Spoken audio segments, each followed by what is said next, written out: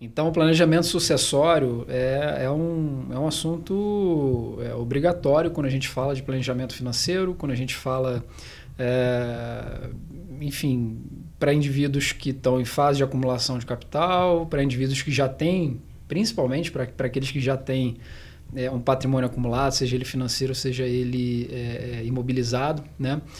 Porque existem alguns aspectos, é, tanto do ponto de vista familiar, né, de você é, deixar a coisa bem estruturada para uma questão sucessória, para que você evite algumas, é, alguns problemas ou discussões familiares, né, uh, quanto do ponto de vista tributário, eficiência tributária, tem vários aspectos que a gente pode citar aqui, é, mas um deles é tributo. Né, e no Brasil ainda se paga, pelo menos até agora, ainda se paga pouco imposto sucessório se a gente for comparado ao resto do mundo. Né? Mas não é um imposto baixo, dado que a nossa carga tributária em outras, em outras frentes é alta. Tá? Então, é, a gente, quando trabalha planejamento sucessório, ou desculpa, tra trabalha planejamento financeiro e o planejamento sucessório faz parte do planejamento financeiro, é uma das, das caixinhas que a gente é, trabalha. Uh, o, o, os principais aspectos são esses. Assim, basicamente, você deixar a coisa estruturada para uma sucessão familiar uma sucessão empresarial, muitas das vezes envolve uma questão societária, é, e também a questão de eficiência tributária. Tá? Eu diria que seriam os dois pilares aí fundamentais para a gente falar de sucessão. É, quando a gente fala que o brasileiro não gosta né, de, de falar desse assunto de sucessão, você trouxe um ponto bastante importante que é essa questão da tributação. A gente não sabe que lá fora, por exemplo, alguns países a tributação é de 50% de sucessão, uhum. coisas do tipo. E que nós temos uma conversa também de mudança dessa tributação hoje no Brasil. Então, hoje está por volta de 5%, coisa do tipo, mais as custas de advogado, essas coisas, mas tende a subir e tende a subir ali dependendo do patrimônio da família, uhum. né? E isso até em alguns estados já é diferente do que é aqui uhum. em São Paulo, né? Se eu não me engano, no Rio já é mais alto. É, na verdade, o, o, o ITCM dele é um imposto federal, ou melhor, ele é um imposto é, estadual, mas ele tem um teto federal, né? O teto é de 8%. Isso. No Rio ele vai da isenção até os 8%. Em São Paulo, é, eu acho que fica nessa casa dos 5%, né? Isso, Ou talvez tenha é, algumas faixas. Próximo. Fica próximo disso, acho que tem algumas faixas. E cada estado vai ter a sua regra ou a sua faixa do, do patrimônio, tá? Essa, essa questão da mudança do, do, do, imposto sobre herança é, é uma questão falada a muitos governos e a muitas transições de governo. Entre a eleição sai eleição, fala-se que vai ter uma mudança da, da, da tributação sobre a herança. É, é, Para alguns indivíduos, isso pode ser que seja é, é, é, é, necessário, né? pode ser que seja interessante do ponto de vista da arrecadação, para outros, nem tanto. Né? É, e para aqueles que, que não acreditam muito, ou que, que até, na verdade, aprovariam alguma coisa né, de elevação de, de, de, imposto sobre herança, muito possivelmente essa pessoa já não tem boa parte do patrimônio aqui. Né? Vamos, vamos falar bem da verdade. Então, é, tramita, pelo menos esse assunto tramita sempre a cada transição de governo. Tá? Não dá para a gente precisar, a gente nunca consegue ter certeza do que, que vai acontecer mas o mais importante é que a gente tenha veículos e ferramentas e tamanhos corretos né, para cada tipo de sucessão que está se planejando.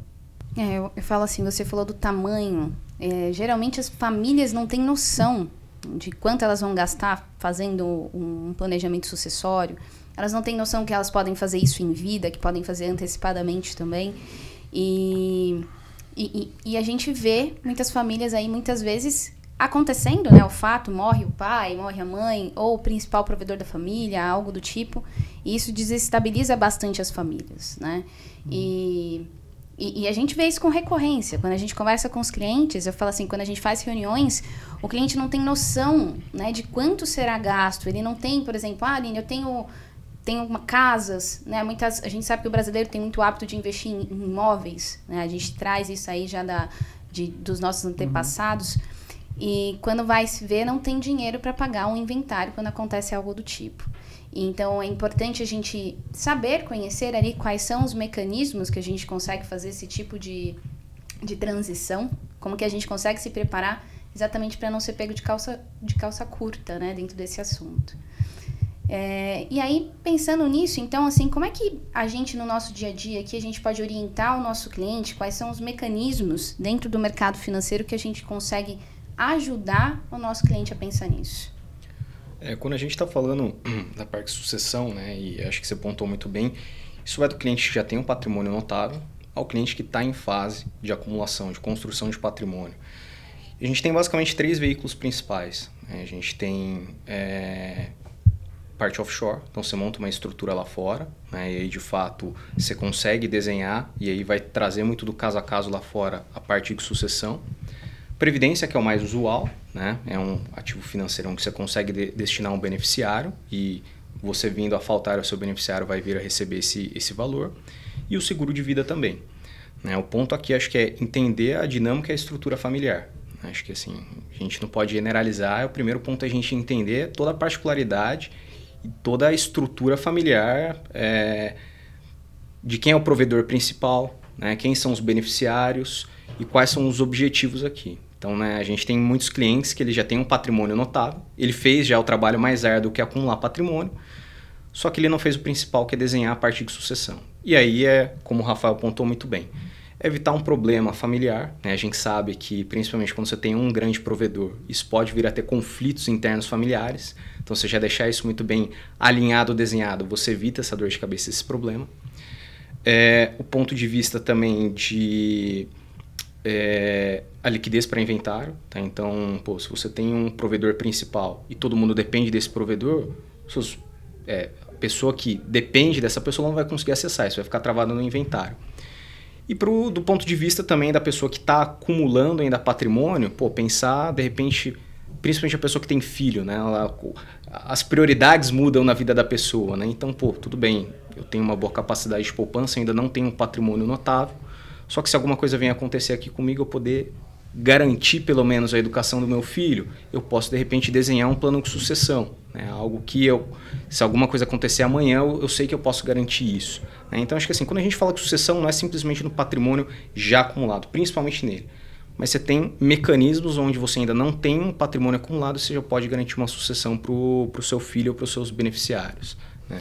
É, tem tem uh, Primeiro é importante assim, a gente como CFP, a gente para alguns assuntos é generalista. Sim. Mas é, quando a gente vai em alguns momentos sentar para discutir qual é a forma da estrutura, como a gente vai estruturar, seja ela offshore, seja ela até em vida, transmissão em vida do patrimônio, é importante que se envolva um advogado e especializado na área. E quando a gente fala de, de patrimônios menores, isso tem uma complexidade menor, evidentemente. Quando a gente fala de patrimônios maiores, isso tem uma complexidade muito maior. Então a gente vai contar com bons escritórios, a gente vai contar com bons advogados que são especialistas na área, tá? Seja para uma constituição de uma holding familiar, seja para a constituição de um fundo exclusivo, por exemplo, que é um, uma ferramenta também, também para isso, também. seja para a constituição de uma, de uma empresa offshore, uh, uma BVI, por exemplo, né, que é aberto em, em, nas Ilhas Virgens, enfim, uh, seja um trust, que é um outro, uma outra figura de pessoa jurídica, né? Quando a gente utiliza é, talvez a previdência privada e o seguro de vida como um veículo de, de alinhamento sucessório ou de planejamento sucessório, isso fica mais simplificado. Tá? É, você pode utilizar essas duas ferramentas para fazer uh, o custeio de impostos ou a manutenção do padrão de vida de um, de um, de um herdeiro ou da família. Né? O, o seguro de vida ele não serve para deixar ninguém milionário. O seguro de vida serve para desembaraçar problemas financeiros que podem existir no falecimento de um provedor, seja uma matriarca ou do patriarca. Tá? É, é o objetivo do, do, do, seguro de vida é, é esse. Tá? É, do ponto de vista da previdência, é, às vezes é o que está, é, e aí falando mais do VGBL, é o que está ali mais próximo do indivíduo fazer, seja porque às vezes a idade não permite, seja porque às vezes o perfil de cliente não, não não, não, agrada tanto você fazer, ou o volume, você não tem muito como fazer determinados planejamentos sucessórios envolvendo offshore, envolvendo uma holding familiar e por aí vai. É, então, quando a gente envolve esses dois veículos, eu tendo a dizer que é, são veículos mais simples de uhum. você operacionalizar. Tá? Sim.